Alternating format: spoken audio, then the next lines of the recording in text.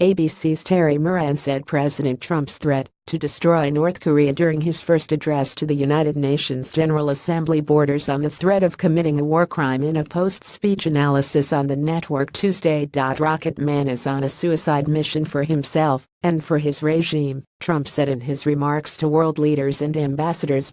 No nation on earth has an interest in seeing this band of criminals arm itself with nuclear weapons and missiles, he continued. The United States has great strength and patience, but if it is forced to defend itself or its allies, we will have no choice but to totally destroy North Korea.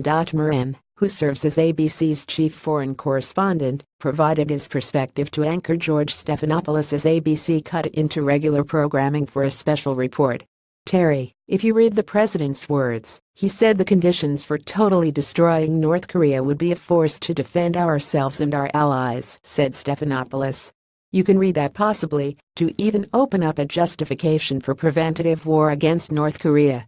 Moran responded, that is a potential justification, but the words totally destroying a nation of 25 million people, that borders on the threat of committing a war crime. Moran, a frequent critic of Trump, took to Twitter to continue his commentary to his 1.17 million followers, which included mostly criticism, but seemingly offered some praise for the president.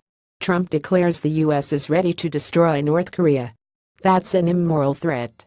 Threaten vicious regimes, not innocent people. Terry Moran at Terry Moran September 19, 2017 Trump hits the Iran nuke deal but most world leaders think it stopped yet another war in the Middle East. Unga, Terry Moran at Terry Moran September 19, 2017 Rocket Man is on a suicide mission for himself and his regime. Trump brings his WWE rhetoric into the General Assembly. Unga, Terry Moran at Terry Moran September 19, 2017 Trump tearing into the North Korean dictatorship in terms no world leader has ever used. Good for him. Terry Moran at Terry Moran September 19, 2017 The president's comments come after the UN Security Council voted unanimously on September 11 for a second time in recent weeks to increase sanctions on North Korea over its recent missile tests.